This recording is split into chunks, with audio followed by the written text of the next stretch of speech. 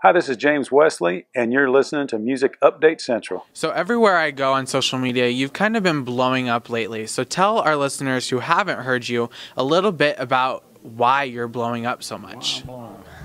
Why I'm blowing up and things are kind of taking and taking off right now. I've got my brand new single, "Running," that's out right now, and it's doing really well. And then I got my new EP along with that. So it's all been kind of all at one time throwing it out there. But um, it's been doing really well, and, and I'm looking forward to see what's going to happen here in the next week. Yeah. Yeah. So, with the EP, kind of what's the inspiration and why did you choose to release this at the time you did? Well, as far as like the inspiration on this EP, this was something I'd gone through quite a bit last year, some changes in my life, and my band they wanted to do they wanted to give me a surprise. So their surprise was going into the studio and the songs that I had written. And there's one song on this EP that I didn't write. It was an Andrew Dorff, Rodney Clawson, and John uh, McElroy um, song that was that they had written together.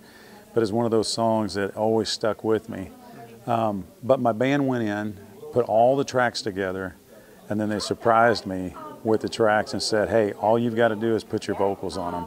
So it was a great surprise. So that was one thing. It was a motivation. It motivated me to get in there and put this, you know, put this together and, and release it, and then release this this new single because it's been a while since I've had, you know, a song on the charts and and out there for radio. So that was one of my it was a motivator and and one of the reasons why I wanted to get this get this out there for everybody because I had quite a few people wanting to hear some of the new songs and new music. So.